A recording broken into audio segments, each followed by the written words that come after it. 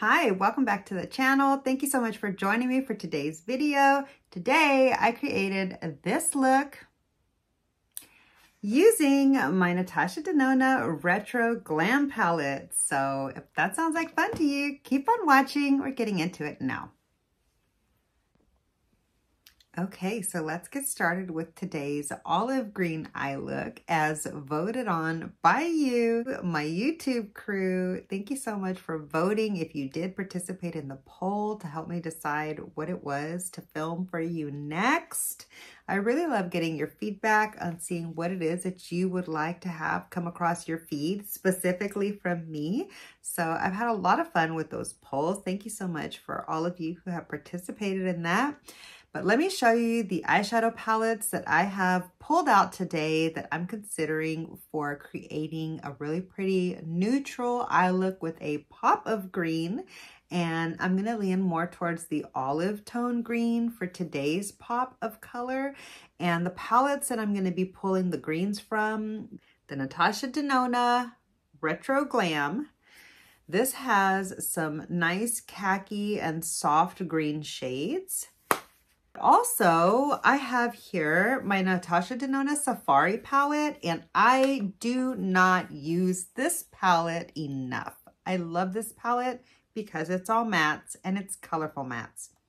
Admittedly, these are not quite the same level of Natasha Denona's current matte formula, but they're still really good mattes, and they were better than the other mattes that were out on the market back when this was, you know, in its prime. So all that being said, I might dip into, let me, let me face the palette the right way so that you can see the color story as it was intended.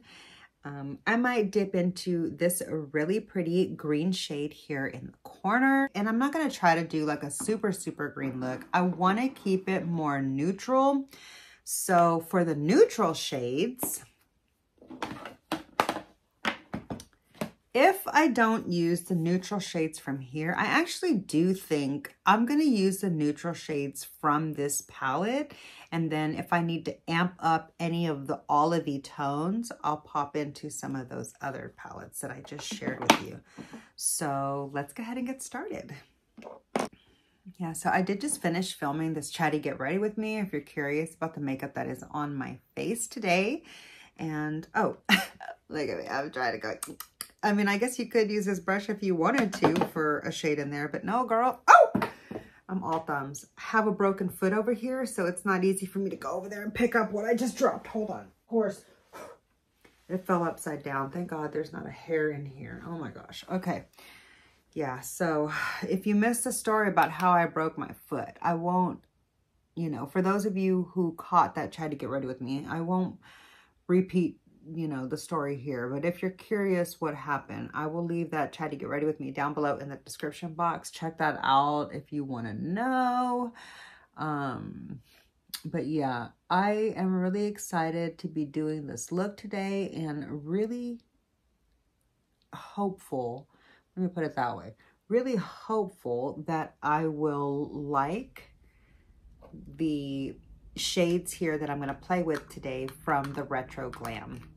And I apologize if you hear the air conditioning that just kicked on. I have to leave it on because it's like 105 degrees outside and my dogs and they need the air. So, okay. I'm going to start off with this, whoop, this lightest shade here in the Retro Glam. And I'm going to put that you know, I'm, I usually do the same kind of a shape, okay? And that's because I just find it to be the most flattering for my face. And when I do my makeup, I like for my makeup to be flattering. that's just, you know, that's my vibe with makeup. And so if you want to switch it up because you don't like doing the same shape or whatever, then you can maybe just follow along with what kind of colors I'm using and place them in different areas so that you get a totally different kind of a shape. And also, if you are following along trying to create a similar shape, keep in mind that our natural eye shape tends to really influence how the look is going to turn out. Like as far as, you know, even if it looks like you're placing something in the exact same spot, if we have like a very different eye shape than each other, it might not look the same way just because your eye shape might be completely different.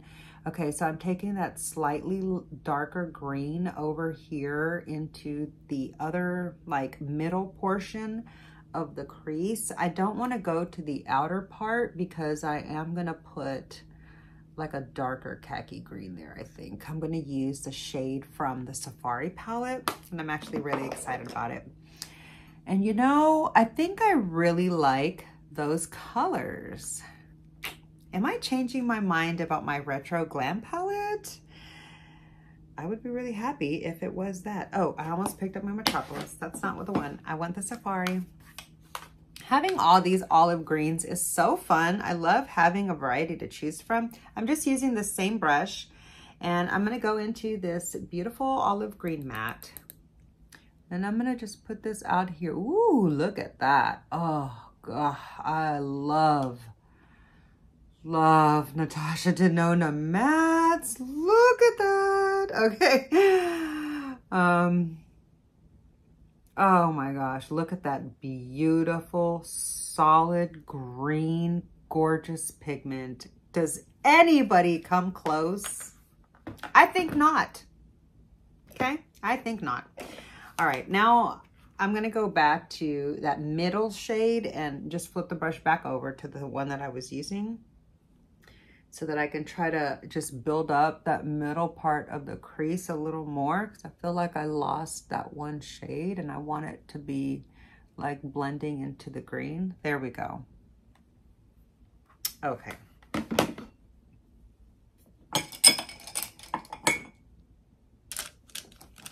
I think I'm gonna need to wash brushes really soon. Let me show you. Look at how full my brush container is. And this brush holder, actually, my son brought it home from his last day of school. He had apparently made this in his um, pottery session of his art class. And I just have it here on this little poppet thing because um, I like the colors and it goes nicely with this blue and it'll keep it from scratching my desktop. So I kind of use it like as a, a cute little colorful coaster. anyway, um, okay, I'm just gonna take a clean, soft, fluffy brush and just blend those colors into each other to where it looks like a little bit more of a soft gradient and you can't quite see the harsh lines. But I do feel like I lost some of that middle shade. I'm gonna take a clean brush and build up that one shade right there in the middle so that I can get a better payoff. So hold on.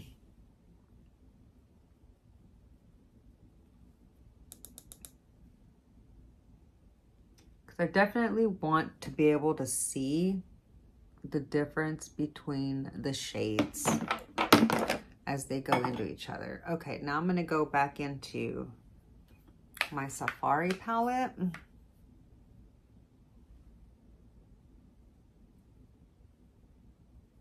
There we go.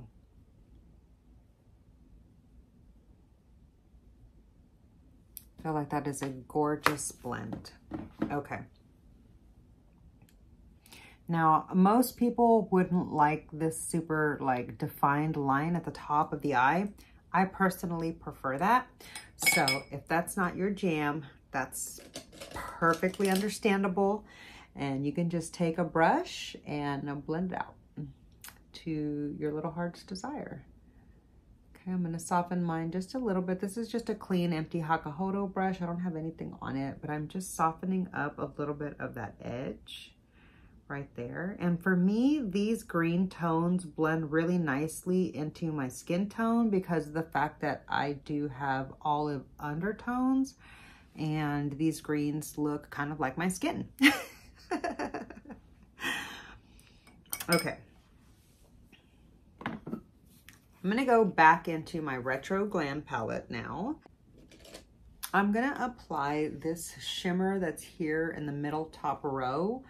It, I've actually never used it before and maybe I should use my finger. I probably should use my finger, but I'm gonna apply this here on the lid. Yeah, that was kind of lackluster. Let's try it with the finger. Oh, much better. Oh, that's beautiful. That's really pretty. Oh my gosh. Oh, wow. Okay, I feel like maybe I just didn't have the right foundation shade on before, or maybe because I'm a little bit more olive now than I remember being when I tried this palette out. Or maybe I'm just more open to these particular shades of green this time around, but for whatever reason, I can't for the life of me understand why I didn't like this palette very much before because I'm actually really loving it right now. I'm going to use this really pretty soft. It's almost kind of leaning a little bit more towards like a spring mint green, but it is kind of mixed with a bit of a olive undertone. So I wouldn't completely say it's like a spring green. It is like a like an olivey spring green maybe. I'm going to just pick a little bit of that up and put that out here in the outer corner going into that shimmer that I just had, that I just put down.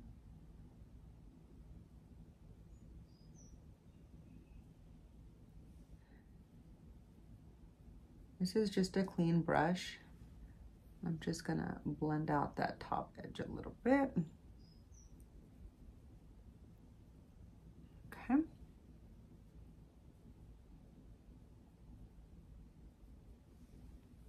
I do like that a lot, lot, lot.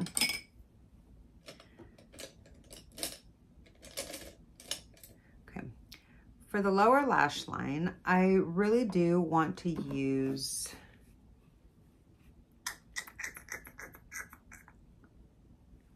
this like more gray shade here in the palette in the uh, Retro Glam palette.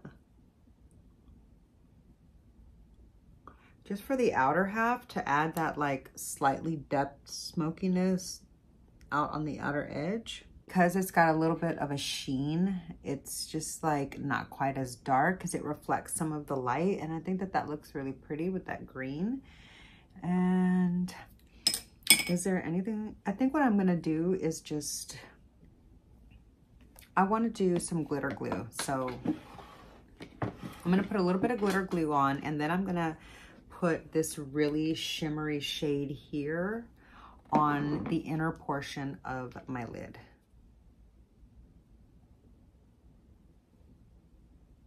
Okay. Now I'm going to just, oh my gosh, look at that. Gorgeous. A little more. Oh my God, that is so pretty. Yeah, I feel like I just didn't give this palette a fair chance before. I think I was just like mentally blocked by the tones of the greens because I hadn't really played with greens this like this in this shade range before and I don't know, I feel like I do like it a lot more now than I did in the past. And I actually think that looks really, really pretty. Okay, so does this count as a neutral eye look with a pop of olive green or is it a solid olive green eye look? kind of feel like it might be a solid olive green eye look. which is fine, I guess. But I was trying to go for a pop of green. Anyway, I'm going to take that um, Dirty Hakuhodo brush into this matte that was in the Safari palette, and I'm going to try to just smoke up my outer edge a little bit because I do want it to just be a little bit more sultry here. Yeah, it's not very obvious, but it just like tamped down some of the shine from that satin shade, which I really feel like it needed. Okay. That's the eyeshadow look right there. Let me give you a close look at just the eyeshadow. Okay, I'm gonna go off screen and do some finishing touches, like some eyeliner and mascara, and then I'll be right back to show you the completed olive green eye look.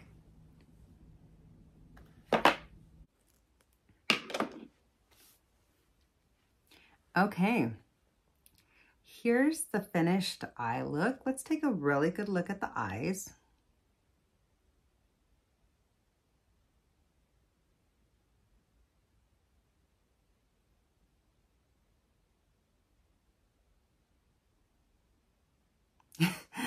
okay, let me zoom you out and pull down the hair.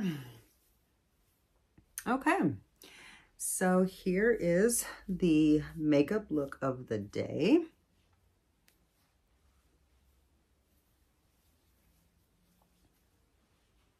Yeah, there's the finished look. Let me know what you think. It's a little tight. There we go.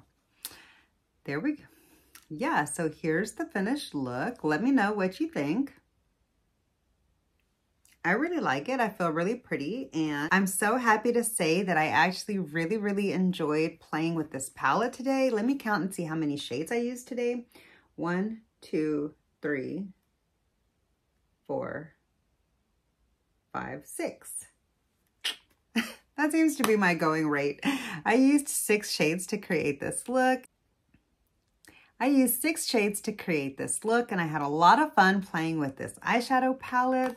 Let me know what you think of the look down below. I would love to hear your thoughts, but yeah, here is the look.